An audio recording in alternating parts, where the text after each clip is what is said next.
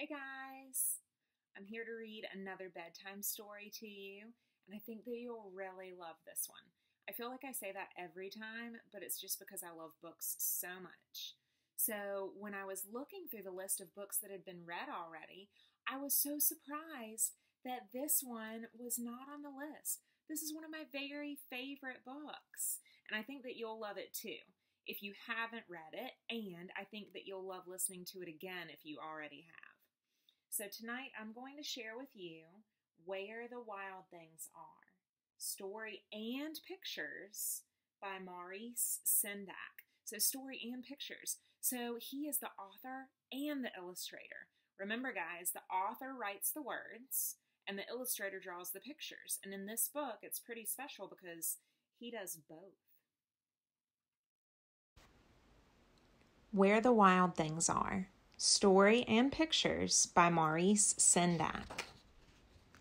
The night Max wore his wolf suit and made mischief of one kind and another, his mother called him Wild Thing, and Max said, I'll eat you up. So he was sent to bed without eating anything. Very night in Max's room, a forest grew and grew and grew until his ceiling hung with vines and the walls became the world all around.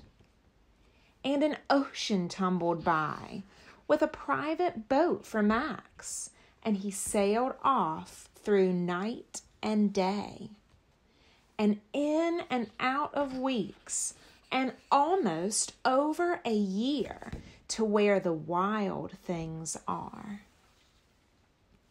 And when he came to the place where the wild things are, they roared their terrible roars and gnashed their terrible teeth and rolled their terrible eyes and showed their terrible claws till Max said, Be still, and tamed them with the magic trick of staring into all their yellow eyes without blinking once.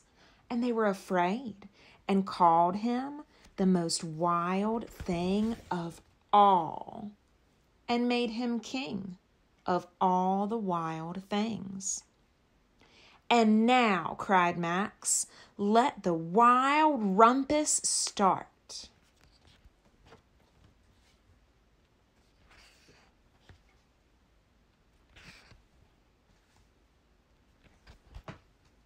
Now stop, Max said, and sent the wild things off to bed without their supper.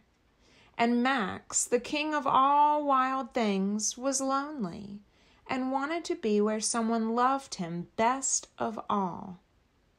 Then, all around, from far away across the world, he smelled good things to eat. So he gave up being king of where the wild things are. But the wild things cried, Oh, please don't go. We'll eat you up. We love you so. And Max said no. The wild things roared their terrible roars, and gnashed their terrible teeth, and rolled their terrible eyes, and showed their terrible claws. But Max stepped into his private boat and waved goodbye. And sailed back over a year, and in and out of weeks, and through a day, and into the night of his very own room where he found his supper waiting for him. And it was still hot.